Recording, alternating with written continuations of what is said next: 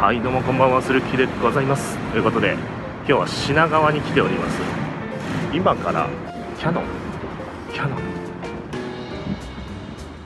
このキャノン初めてじゃないかな。キャノンのね EOSR を EOSR 体験会があるということでやってまいりましたよ。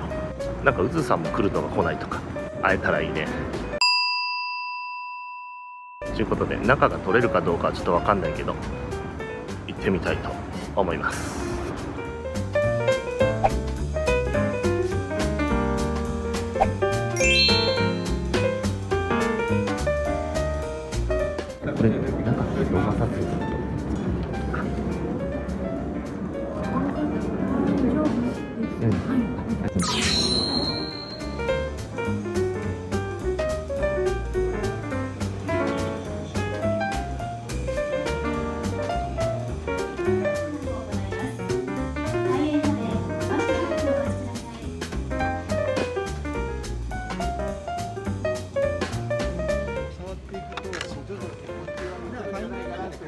ボ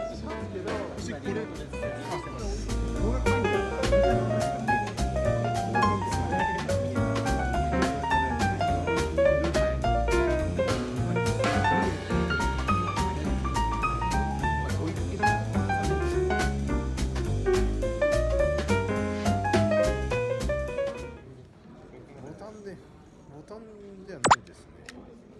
ボタンで設定するものがないんですね。これはすごいあの多分業務用のビデオカメラとかあのテレビ放送で使うやつはやっぱり手動じゃなきゃ信頼できないぐらいの評価だったんですけど最近もそのシネマ系のやつもこれを使い始めて本当に信頼されてきてます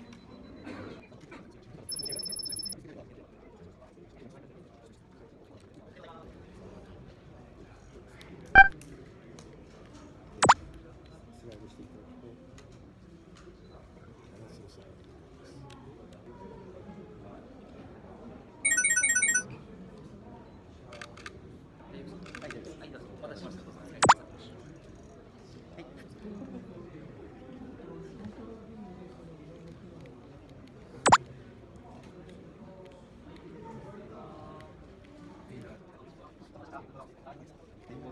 マニュアル限定なんですよ。はい。これで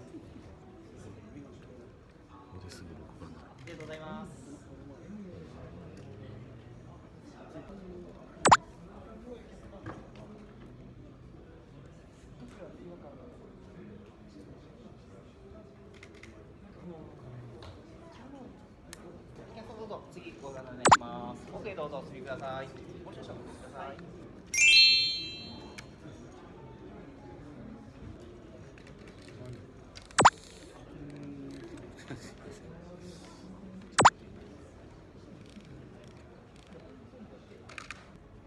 これで、はい、こう来て、はい、で、戻しますよね。で、こう、じゃあ、今日に話し。なるほど、ありがとうございます。ありがとうございます。めっちゃおもろかった。めっちゃおもろかった。やべえぞ、これ。さあ、ということで、いかがでしたでございましょうか。まあ、大体テロップというかね、あれでご説明はついたんじゃないかとは思うんですけども、こいつですよ。行ってきました。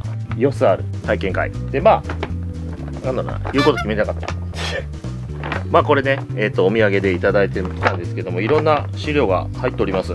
まだちゃんと全部見てないんだけど、まあ、レンズの紹介パンフレット、えー、なんかこう、あお、お、こうなんか大事なのってだ。ご優待クーポンみたいなのも入ってます。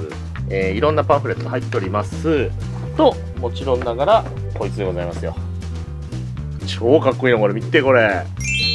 超かっこいいの。写真は進化する。R。この R、R がね、今回のこのカメラ R がねダメだって。私ルッキーと名乗らせていただいております。ルッキーの頭文字は R でございます。これね本当にね中中学校小学校かな？中学校ぐらいからずっと使ってるのでね愛着があるんですよ R には。やばいよね。で他にもですねステッカー結構かっこいいステッカーいただきました。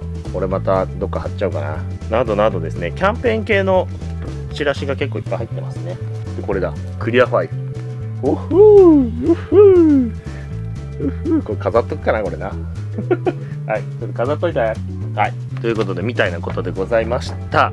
で実際に触ってみてどうだったかっていうとねもうねやばい。やばいよ。やばい。もう出川さんみたいになっちゃうね。やばいやばいよ。やばいやばい。よあの本当に持った感じねしっくりくるんですよ。一眼レフももちろん今ね使ってるこの 70D も持つとすごい、まあ、ごつい感じなんだけどそれを持ちやすいままコンパクトにした感じ。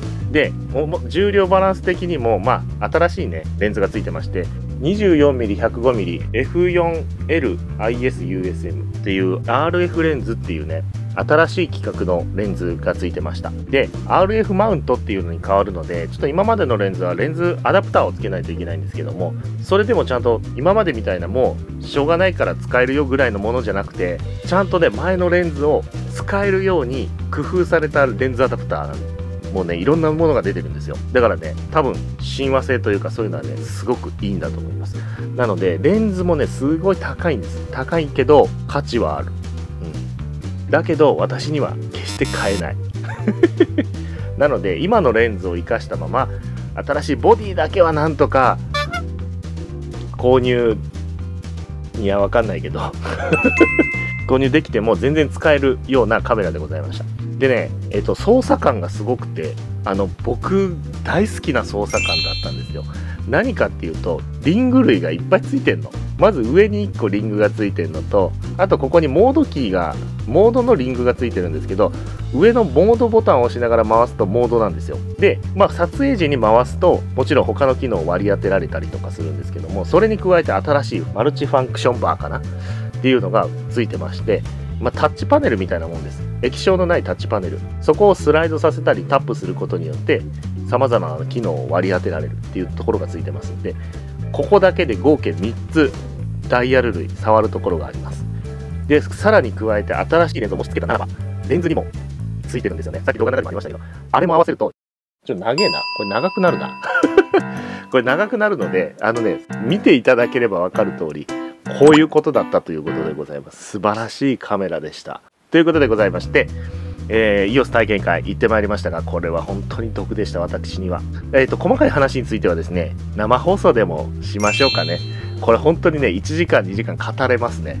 うん、楽しすぎる。ということで生放送をお楽しみにしていただければと思います。ちょっといつやるかをまた改めて Twitter の方でね、あの告知したいと思いますんで、えー、概要欄の方からぜひぜひ Twitter をフォローしていただければと思います。それでは皆さん、あ、これ、えっ、ー、と、今日アップするんで、明日、明日もまだやってるので、もしこれ見られてね、えー、ちょっと興味を持った方はぜひ行ってみてください。それでは皆さん、じゃあな